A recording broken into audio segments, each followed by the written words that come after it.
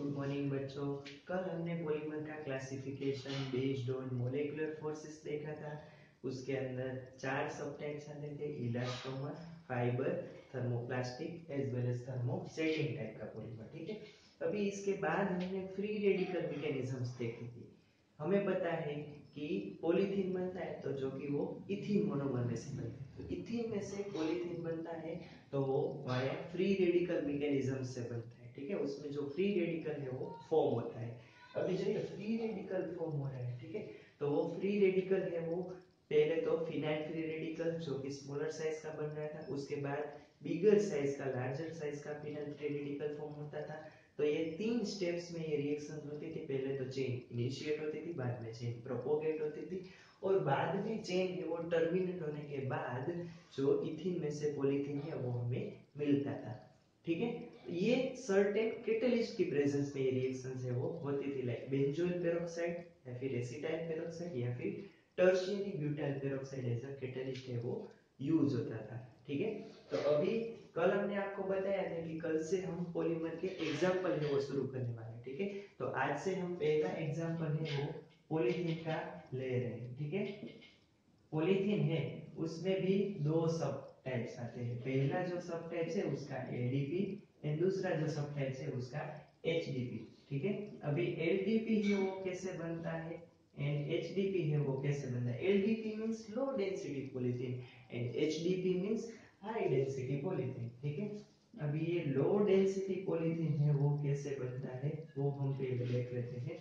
पहले तो दोनों के मोनोमर एंड दोनों के पॉलीमर तो सेम ही है कि ये भी इथीन है, ये भी पॉलीथीन है, ठीक है? लेकिन इसकी डेंसिटी लो है इसकी डेंसिटी हाई है इसलिए रिएक्ट उसकी जो प्रॉपर्टी है वो डिफरेंट हो जाएगी। उसके एप्लीकेशन में थोड़ी बहुत डिफरेंट हो जाएगी।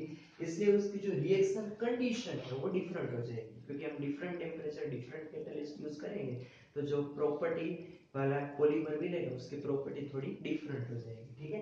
तो अभी ये जो इथेन है इथेन की हम 350 to 570 kelvin temperature and 1000 to 2000 atmospheric pressure के ऊपर हम उसकी रिएक्शन करेंगे और उसकी रिएक्शन है वो डाई ऑक्सीजन या फिर पेरोक्साइड कैटलिस्ट की प्रेजेंस में उसकी रिएक्शन करेंगे।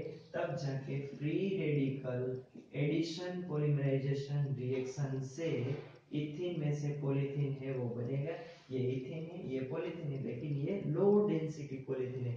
अभी हमने पॉलीमर का क्लासिफिकेशन दो दिन पहले देखा था क्लासिफिकेशन बेस्ड ऑन स्ट्रक्चर वो स्ट्रक्चर वाला क्लासिफिकेशन देखा था, उसी में ही हमने देखा था कि जो लो डेंसिटी पॉलीथीन है, वो हाईली ब्रांच्ड स्ट्रक्चर है, उसका होता है। मतलब उसकी जो लॉन्ग एंड स्ट्रेट जो होती है, उसमें कई कई जगह ऐसे ब्रांचेस पड़ती है, ठीक है? तो ये हो गई लो डेंसिटी पॉलीथीन है, उसकी मैन्युफैक्चरिंग प्रोसेस अब लो डेंसिटी पॉलीथीन है, वो ब्रांच चेंज टाइप के स्ट्रक्चर वाला पॉलीमर है। थर्मोप्लास्टिक टाइप का पॉलीमर है ये केमिकली इनर्ट है, ठीक है? केमिकली कोई मटेरियल है, उसके साथ रिएक्ट करता नहीं है केमिकली इनर्ट है एज वेल एज ये फ्लेक्सिबल है, ठीक है? और उसकी एक स्पेसिफिक प्रॉपर्टी है कि ये पुअर कंडक्टर ऑफ़ इलेक्ट्रिसिटी मतलब इलेक्ट्रिसिटी को कंडक्ट करता नहीं है। इसलिए उसकी एक एप्लीकेशन ये है कि जो इलेक्ट्रिसिटी कैरिंग वायर्स होते हैं उसका जो इंसुलेशन पर्पस है, उसके लिए किसका यूज़ होता है? लो डेंसिटी पॉलीथीन का। लो डेंसिटी पॉलीथीन है, उसके कई सारे और यूजेस है, ठीक है? तो वो भी हम पहले देख लेते हैं। लो डेंसिटी पॉलीथीन है, उसके यूजेस है। जैसे अभी हमने उस बताया कि वो फ्लेक्सिबल है, इसलिए फ्लेक्सिबल पाइप्स बनाने के लिए बोटल्स बनाने के लिए टॉयज बनाने के लिए प्लास्टिक्स मटेरियल्स जो है, सारी बनाने के लिए लो डेंसिटी पॉलीथीन है, उसका यूजेस हो गए, ठीक है? इसके बाद का जो पॉलीथीन का टाइप है, वो है हाई डेंसिटी पॉलीथीन ठीक है? अभी जो हाई डेंसिटी पॉलीथीन है, वो कैसे बनेगा? उसमें मोनोमर एंड पॉलीमर तो सेम ही रहेगा, लेकिन जो रिएक्शन कंडीशन है, वो क्या हो जाएगी? डिफरेंट हो जाएगी। इसलिए पॉलीमर की जो प्रॉपर्टी है, वो क्या हो जाएगी? डिफरेंट हो जाएगी। ये हाई डेंसिटी पॉलीमर बन जाएगा और ये लो डेंसिटी पॉलीथीन था ठीक है? इसलिए उसका स्ट्रक्चर भी थोड़ा बहुत वेरिएशन है, वो आएगा। ठीक है? तो ये जो लो डेंसिटी पॉलीथीन के बाद वाला जो हाई डेंसिटी पॉलीथीन है, वो कैसे बनता है? 333 two 343 kelvin temperature 6 two 7 atmospheric pressure Ziegler Natta catalyst ये जिगलर नाटा कैटालिस्ट ये क्या? TiCl4 या फिर ट्राई इथाइल एल्यूमिनियम है। उसकी प्रेजेंस में अगर हम इथेन मोनोमर को free radical addition polymerisation reaction से हीट करते हैं तब जाके उसमें से हमें क्या मिलता है? हाई डेंसिटी पॉलीथीन HDP अब ये HDP का स्ट्रक्चर है, ये ADP से तो बहुत ऑब्वियस डिफरेंट होगा, क्योंकि different reaction condition different catalyst different temperature pressure ठीक है? इसलिए जो पॉलीमर है, इसकी जो हाई डेंसिटी है हाई डेंसिटी होने की वजह से और ये जो पॉलीमर है लीनियर पॉलीमर ठीक है? Long and straight chain high density polymer and linear polymer ठीक है? हाई डेंसिटी होने की वजह से उसके जो मॉलिक्यूल होंगे, उसका जो पैकिंग होगा, एकदम से क्लोजली पैक्ड होंगे, ठीक है? इसके बाद जो हाई डेंसिटी पॉलीथीन है, उसकी एक प्रॉपर्टी है कि वो थर्मोप्लास्टिक टाइप का पॉलीमर है, ये भी केमिकली इनर्ट है। इसका यूजेस है वो कहाँ पे होगा? इसका यूजेस अगेन फ्लेक्सिबल पाइप्स बनाने के लिए टॉयज बनाने के लिए बकेट्स बनाने के लिए प्लास्टिक्स मटेरियल्स में कई सारे उसके यूजेस है वो है ठीक है? तो ये हो गया हमारा पहला पॉलीमर पॉलीथीन इसके बाद का जो दूसरा पॉलीमर है, वो है PTFE टेफ्लॉन उसका दूसरा नेम है टेफ्लॉन ठीक है? PTFE टेफ्लॉन अब ये PTFE टेफ्लॉन क्या है? उसका जो मोनोमर है, वो है CF2 डबल बॉन्ड CF2 ये जो CF2 डबल बॉन्ड CF2 है, उसका नेम क्या है? क्योंकि हमें तो सर ऐसा पता है CH2 double bond CH2 CH2 double bond CH2 को क्या बोलते हो आप? इथिन बोलते हो. तो इसको क्या बोलोगे? टेट्राफ्लोरोइथिन ठीक है? इथिन में से क्या बने? ये इथिन है, उसमें से पॉलीथीन बनता था तो टेट्राफ्लोरोइथिन है, उसमें से क्या बनेगा? पॉलीटेट्राफ्लोरोइथिन लेकिन ये कैसे बनेगा? पर सल्फेट कैटलिस्ट है, उसकी प्रेजेंस में। पर सल्फेट कैटलिस्ट है, उसकी प्रेजेंस में हायर प्रेशर के ऊपर जो टेट्राफ्लोरोइथिन है, उसको हम क्या करेंगे? हीट करेंगे, तब जाके उसमें से पॉली टेट्राफ्लोरोइथिन PTFE वो बनेगा ठीक है टेफ्लॉन तो ये हो गया पॉलीटेट्राफ्लोरोइथिलीन जो कि टेट्राफ्लोरोइथिन में से, ठीक है? अब ये होमोपॉलीमर है या कोपॉलीमर है? तो ये तो हमें देखने से ही पता चल जाएगा कि इसमें सिर्फ़ एक ही मोनोमर है, इसलिए तो होमोपॉलीमर हो गया, ठीक है? इसके बाद उसकी प्रॉपर्टी क्या है? ये लीनियर है, ये थर्मोप्लास्टिक है केमिकली इनर्ट है, लेकिन उसकी एक स्पेसिफिक प्रॉपर्टी ये है, जब कभी भी कोई मटेरियल के ऊपर कोरोसिव रिएजेंट का अटैक होता है तो उसको ये रेजिस्ट करता है, ठीक है? ये उसकी एक स्पेसिफिक प्रॉपर्टी उसका यूजेस भी स्पेसिफिक है। जैसे आपको पता है कि आप जो किचन के अंदर नॉन स्टिक्स वेसल्स है, वो यूज़ करते हो। जो नॉन स्टिक्स वेसल है, उसकी जो सरफेस है, वो टेफ्लॉन से कोट हुई होती है, ठीक है? इसके उसके जो कोटिंग्स पर्पस के लिए पॉलीटेट्राफ्लोरो इथिलीन है, उसका यूज़ होता है। इसका एक और स्पेसिफिक यूजेस है ऑटोमोबाइल इंडस्ट्रीज़ के अंदर जो ऑयल सील्स है मशीनरीज के अंदर यूज़ होते हैं एज वेल एज गैस्केट्स जो कि फ्रिक्शनलेस मशीन्स चले और कोई भी लीकेज ना हो, इसलिए पॉलीटेट्राफ्लोरोइथिलीन है, उसका यूजेस होता है, ठीक है? इसके बाद का जो नेक्स्ट पॉलीमर है, ये पॉलीटेट्राफ्लोरोइथिलीन है। अगर आपको पूछे कि ये होमोपॉलीमर है या कोपॉलीमर है तो वो तो आप बता दोगे कि होमोपॉलीमर लेकिन ये एडिशन पॉलीमर है या कंडेंसेशन पॉलीमर है? तो इसका सिंपल आंसर है कि ये तो एडिशन पॉलीमर है, ठीक है?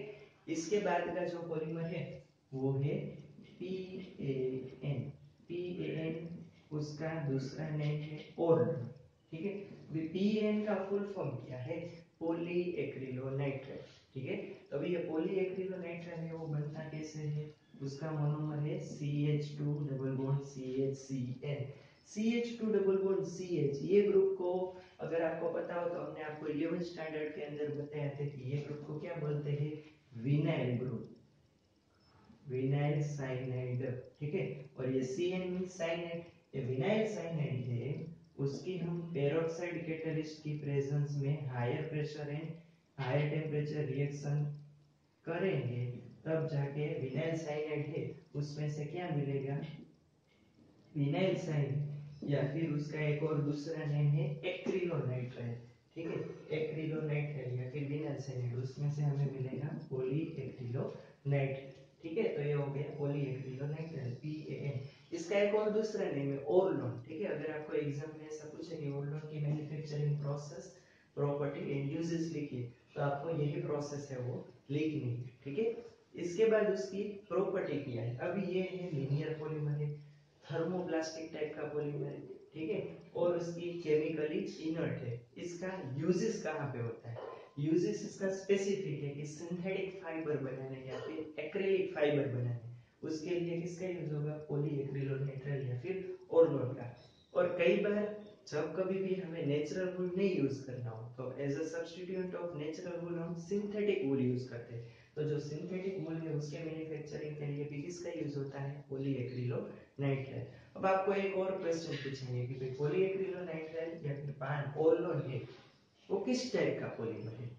होमोपॉलीमर या फिर कोपॉलीमर है? या फिर एडिशन पॉलीमर या फिर कंडेंसेशन पॉलीमर है? तो ये एडिशन पॉलीमर है एंड होमोपॉलीमर है, ठीक है?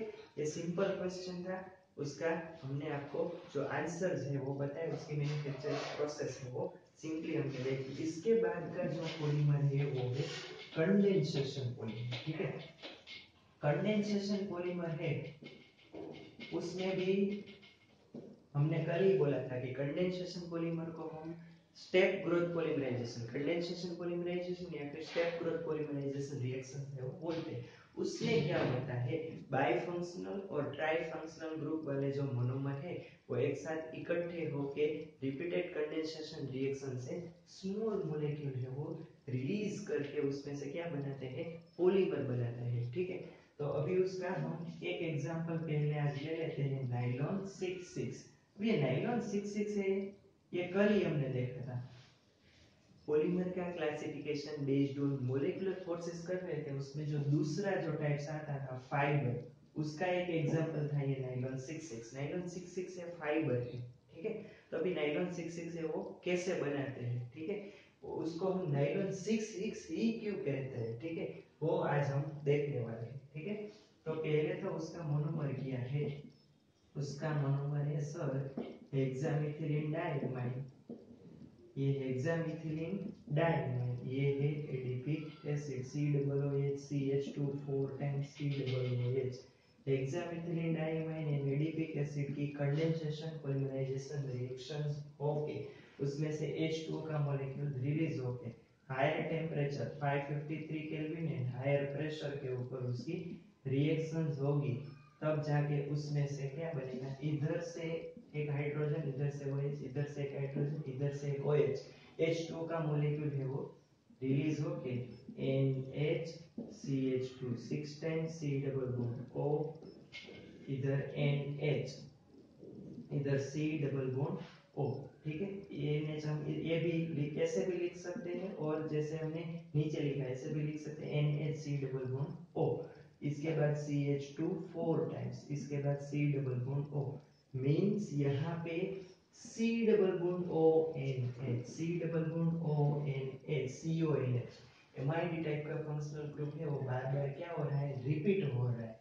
इसलिए जो पॉलीएमाइड टाइप का पॉलीमर है, इसको हम बोलते हैं, ठीक है? ये नाइलॉन 66 है नाइलॉन 66 का जो पॉलीमर बन रहा है, उसके अंदर हेक्सामेथिलीन डाइमाइन जो मोनोमर है, उसमें 6 कार्बन है। और एडीपिक एसिड जो मोनोमर है, उसमें भी कितने कार्बन चार कार्बन इधर दो कार्बन इधर 6 कार्बन तो हमारा जो पॉलीमर बन रहा है नाइलॉन 66 जो नाइलॉन 66 है, उसके स्ट्रक्चर में भी इधर हेक्सामेथिलीन डाइमाइन के 6 कार्बन और इसके 6 कार्बन इसलिए हम उसको नाइलॉन 66 है वो बोलते हैं, ठीक है? नाइलॉन 66 है अगेन उसका स्ट्रक्चर प्रॉपर्टी क्या है? लीनियर है थर्मोप्लास्टिक पॉलीमर है, ठीक है? ये भी केमिकली इनर्ट है.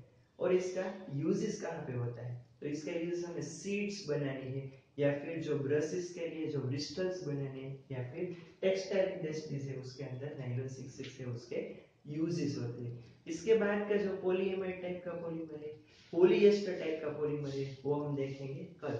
अभी ये जो है, ये कंडेंसेशन एंड कोपॉलीमर है, ठीक है? अगर आपको कोई पूछे कि ये कौन सा पॉलीमर है तो ये कंडेंसेशन है। कोपॉलीमर है, ठीक है? तो आज हम यहाँ तक जितने पॉलीमर है वो रखते हैं, बाकी का जो पॉलीमर है वो हम देखेंगे कल, ठीक है?